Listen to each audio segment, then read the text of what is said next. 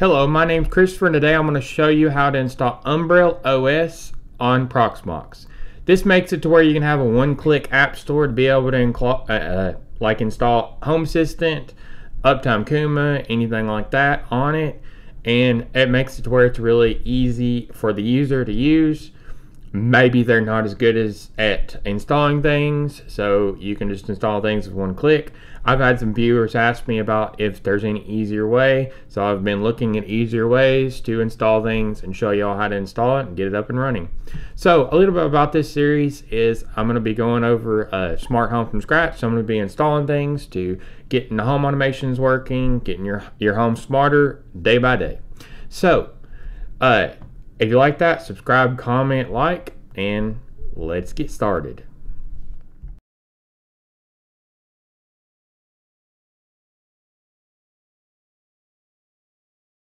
So this is what we'll be installing today. Connect your umbrel to, uh, to your home router, power it up, uh, visit umbrel.local. That's if you have MDNS set up. Um, real-time updates, app updates, monitor everything. It's got an app store to where it's easy one-click touch on on installing things. You can browse the Umbrel App Store, so you can go down here. You can see all the apps that they have. Speed, I'm sure there's Home Assistant in here somewhere. Yep, uh, Home Assistant right here. You can install Home Assistant on it. There's all the apps. It's got a pretty good selection of apps. So, um, oh, Syncthing's really neat. You can sync it between different servers. But, um, so, I'm going to get installing this on Proxmox. So you have two ways to install Umbrel OS on Proxmox. You can go with the helper script of installing it completely with this script right here, or you can install Debian and then you'll have to go over to the Umbrel OS and copy this command and you can install it on the Debian side. So I'm going to go back over to my helper script and um, we're going to install it this way for now so it just installs it real quick.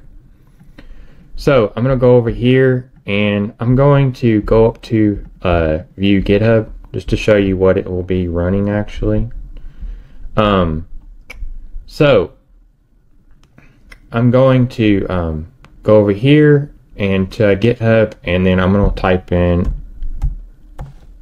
Umbrel, and then you'll see what it's installing. So it's installing dependencies like normal, curl, sudo, mc, and then it'll say it's installing Umbrel, and then it'll, uh, it'll set the Docker config path. It'll make the directory. If it says yes on having a overlay FS. It's going to install overlay for the storage driver. And then it's going to run that curl command that we just seen over there. And then it's going to do a system da daemon reload right there. And then it's going to set the uh, umbrel startup dot service. So it starts up when the operating system comes up. So now we're going to set up SSH, customize, and then we're going to clean up. So that's what the uh, command's doing on install. So let's go over to the CT. So it'll set default settings right here. Then it'll update script. And then um, and then it will show the IP address. This will run when it updates and you actually update it from the uh, the VM side, the LXC. So that's what it will be running on the scripts. So I'm going to start out on the helper scripts and uh, now, and I'm going to copy it. And then I'm going to go over to my Proxmox panel. I'm going to go to the node and then shell and then I'm going to paste in umbrel.sh and I'm going to run it. Now, this will create a new umbrel, umbrel LXC. So I'm going to press yes. I'm going to press yes. I'm going to do yes. So it's going to set up the storage, the template list.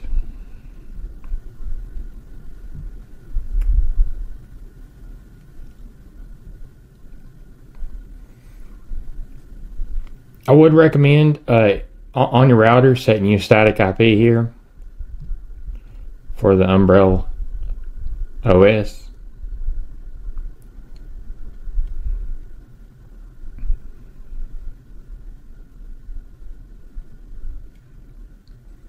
This install could take a little bit.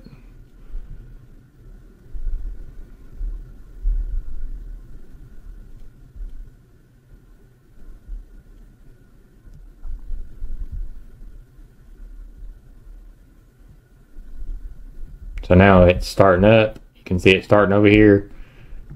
You're going to copy the IP address that allocated from the DHCP server. It's installing the operating system Umbrel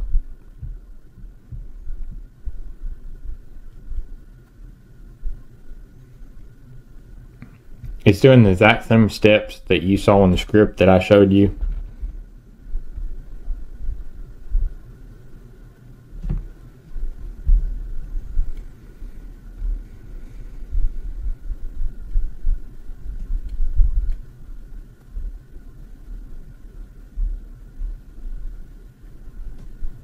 If you do get an error for any reason, you can turn on verbose mode and it'll show you more details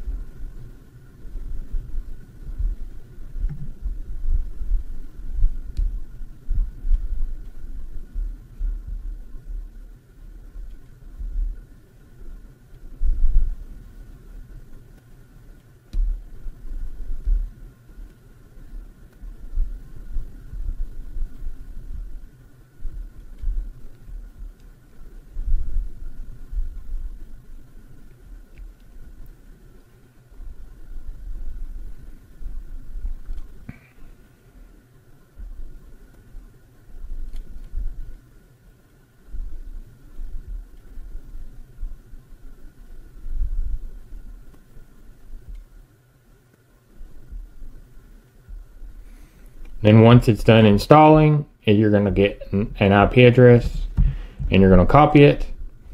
And then I'm going to go to the IP address. You can see it starting up.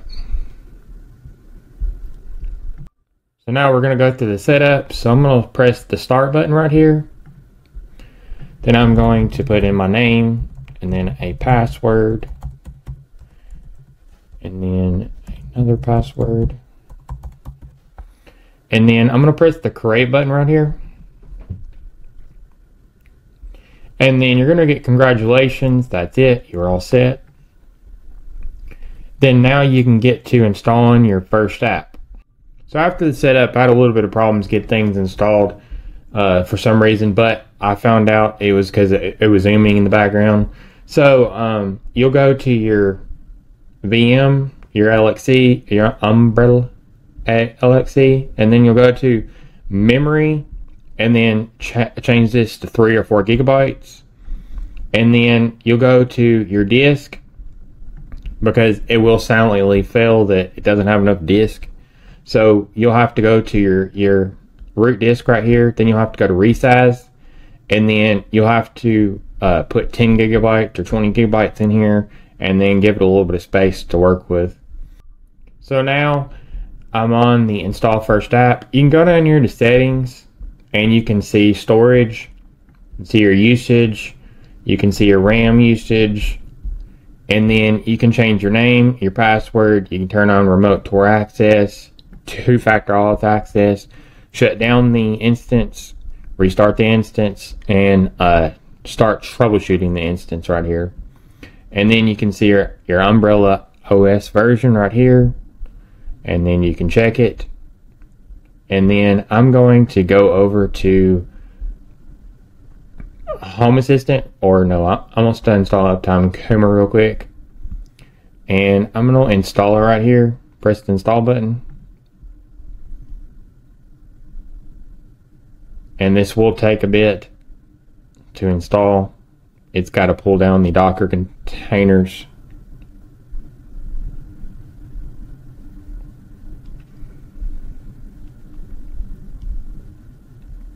Okay, now it's installed.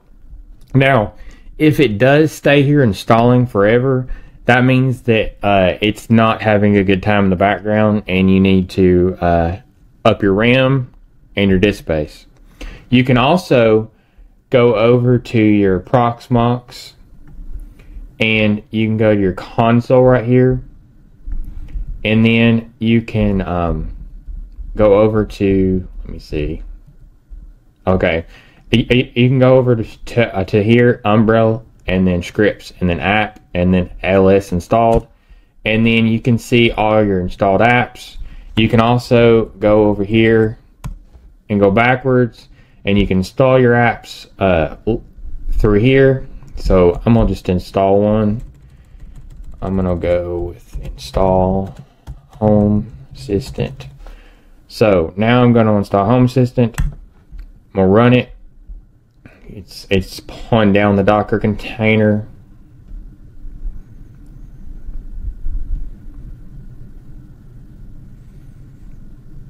You can uh, install the apps through here, or you can install them in the UI, whichever is easier for you.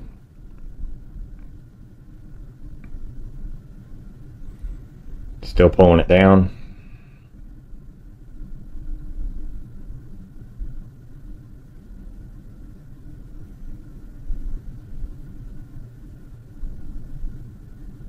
Okay, looks like it's done, and it started at the Docker Comp Compose.